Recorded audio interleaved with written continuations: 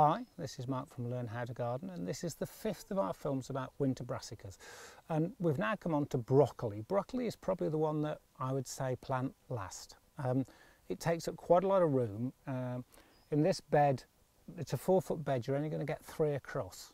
You know, it, it needs space, it's a big plant. Um, but it is worth growing, you know, it gives you wonderful succulent spears and again, great stir fried with a bit of garlic, bit of oil, uh, at that time of the winter when a lot of things aren't coming through. So of the ones we've got, it requires the biggest space. And we've got two types of broccoli. We've got the purple sprouting, and then we have Romanesco. Romanesco is what I would say you should plant. You can plant it slightly closer together. I normally plant mine um, at about 35, 40 centimetres apart. Um, it gives you a beautiful lime green head. Uh, will come before Christmas, much, much sort of, um, much sweeter. The variety I use is called Navona, which is quite interesting. I've got a friend who has a daughter called Navona, uh, and my favourite white lily is also called Navona. I suspect of the two, she'd prefer to be named after the lily than the uh, broccoli. Well, who knows, she might be a foodie and think the broccoli is a better idea, but I digress.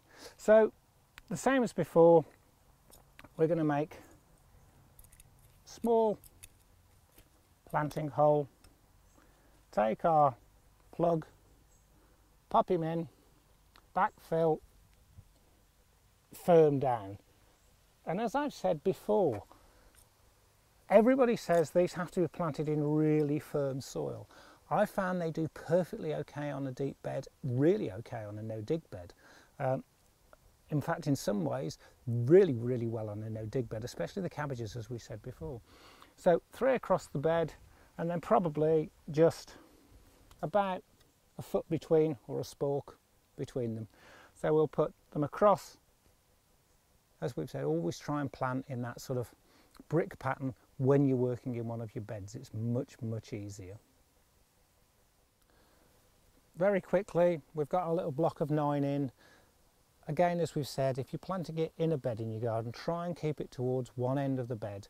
It's going to stay in for quite a long time. It means you can cultivate the rest of the bed during the winter. Um, and as I said right at the beginning, if you can follow peas and beans, which these are following broad beans, it's brilliant. The beans have actually, the nodules have held nitrogen into the soil and these are quite greedy feeders. What we're going to do now is just water them in with um, watering can with some seaweed feed in it. The seaweed really will get the roots zapping away and uh, these will, you know, be tasting really good from Christmas through till about March time.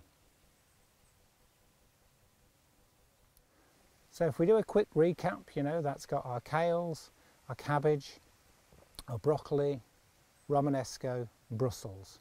Big five for the winter. You know, it's my personal order of why I put certain ones in before others. You know, if you love broccoli and hate kale, please don't grow this, grow kale. You know, but that's why I think they should go in in that order. I hope that's some help. That's our little mini series on winter greens. Get some in now. Get down to your local nursery or garden centre. Even your farmer's market probably still have some and pop them in. And uh, I hope you've enjoyed this quick series of five and we'll speak to you soon. Thanks a lot for watching.